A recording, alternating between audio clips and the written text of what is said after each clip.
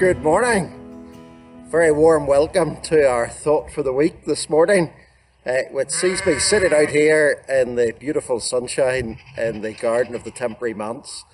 Uh, just in case you're wondering, over to this side there are football nets. If you're not quite sure what that is in the background, that's just what it is. And uh, hopefully Peter won't hit me in the face with a football during the, the video, but we'll see how we go. Uh, there is some potential opposition over on the other side too. The sheep in the adjacent field are quite interested in what I'm doing, or perhaps quite objectionable to it. I'm not really sure which, but they're making their views heard anyway. Uh, and just before that, actually, somebody drove past uh, with the windows down, singing at the top of their voice. So it's been a very interesting few moments, uh, and we'll see how we go from here all that, of course, is apart from the obvious. The obvious question I dare say you have is, what exactly am I doing dressed in the way that I am? Uh, I've never been anything like a fashion expert, and I've no intention of ever becoming one. But neither have I ever recorded thought for the week or anything of the sort quite like this before. Uh, and in truth, it's probably confession time. This helmet uh, and this uh, vest or jacket or whatever you want to call it. Uh, well, they've been in my possession, I think, for about 12 years. Uh, and of those 12 years, they've spent all but a few hours uh, away in the darkness somewhere, out of sight, out of mind, completely forgotten about. Uh, it's a wonder in ways that they made it as far as Comber because they spent all their time in Hilltown with maybe but a few moments exception uh, stuffed away in the garage somewhere. And they spent, I think, probably their first six months here in much the same way. In fact, when I decided that I was going to go out for a cycle, uh, it took me quite a while to find where the gear was, even though I'd moved it relatively recently. And maybe you've discovered this too, but somebody terribly had managed to shrink my jacket in the intervening year since I last wore it. What used to hang loose, now clings pretty tight.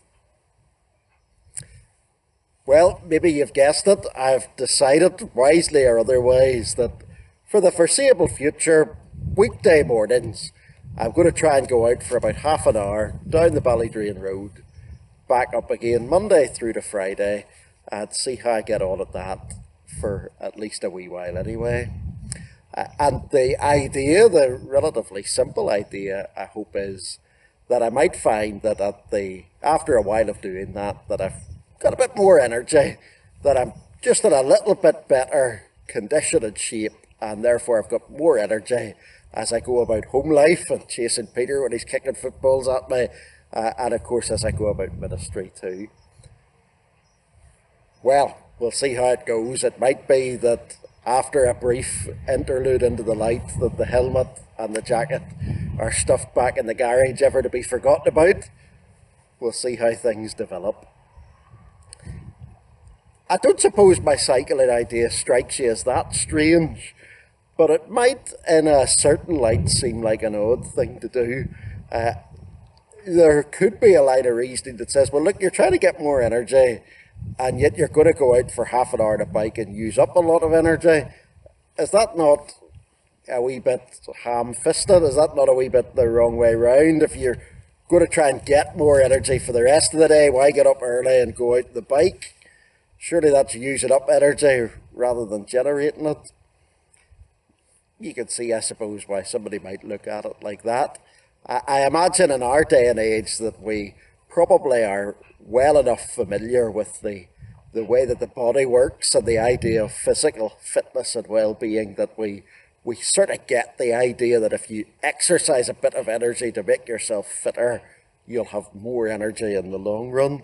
Uh, you've got to give a bit of it up to have more further down the line. Uh, which puts me in mind of words from Matthew chapter 16, very challenging words uh, and words that are echoed frequently elsewhere in the Gospels. From verse 24 uh, through to verse 27. Then Jesus said to his disciples, Whoever wants to be my disciple must deny themselves, take up their cross, and follow me. For whoever wants to save their life will lose it, But whoever loses their life for me will find it. What good will it be for someone to gain the whole world, yet forfeit their soul? Or what can anyone give in exchange for their soul? For the Son of Man is going to come in his Father's glory with his angels, and then he will reward each person according to what they have done. Amen. There are certainly challenging words, aren't there? There, uh, you must deny yourself, take up your cross, follow me. It's so clear that Jesus is calling for wholehearted followers. Uh, he doesn't have any interest, you might say, in having anything less than that. Uh, he's not interested in a kind of half-hearted commitment to him. He considers that really to be an insult, which in truth it is. He calls for people to be wholehearted in their commitment to him, and he's utterly unashamed in that, just as he's absolutely right in it. But he also says something that sounds maybe a little bit paradoxical. Whoever wants to save their life will lose it. Whoever loses their life for me will find it. You'll only have it if you give it away. Uh, maybe what I'm trying to do with my cycling in a little way is an illustration of that. I give away some energy and I end up with more energy than I started with. At least that's the theory that I'm pursuing. We'll see if it works out like that. But there certainly are other examples in life where you've you've got to give something away in order to know the value of it. Uh, if you've ever lodged a cheque, well, how are you going to know the value of a cheque? By holding it tight by keeping it in your pocket, by locking it away securely in a safe. No, well, you're going to know the value of a cheque when you give it away, when you take it to the bank and you let them take it. And once you've given away the cheque, well, then you can know its value. So it is with your life. Uh, if you want to have life, life that is true and full and everlasting, then you must give your life to Jesus. Uh, people who selfishly cling to their lives and refuse to submit them to Christ, well, they're trying to keep it, but in the end, they'll lose it. People who willingly lose their lives, giving their lives continually to Jesus as Lord and Saviour, well, they will find it. Of course, Christ Himself willingly gave up His life on the cross, and Christ Himself gloriously is alive forevermore. Uh, he is in himself the supreme illustration, example, and uh, indication of the truth of his words. And he's the one who calls us to have life in him as we surrender all things to him. Give your life away. Give it away to Jesus, that in him you might have life. Let's pray together. Uh, Lord Jesus, we thank you for your great goodness and love.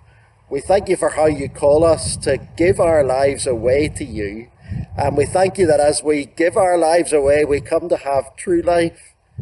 So grant that we may wholeheartedly love and follow you and know your goodness and care. For your holy sake. Amen. Well, the sheep have behaved very well. There's been no further attempts at karaoke, uh, and my helmet and vest have seen a little bit more sunlight, as maybe they'll continue to do. It's been really great to have the privilege of your company, uh, and I hope that those words will stick with you. Jesus says if you want to save your life, you'll lose it. If you lose your life for Him, you'll find it. God bless.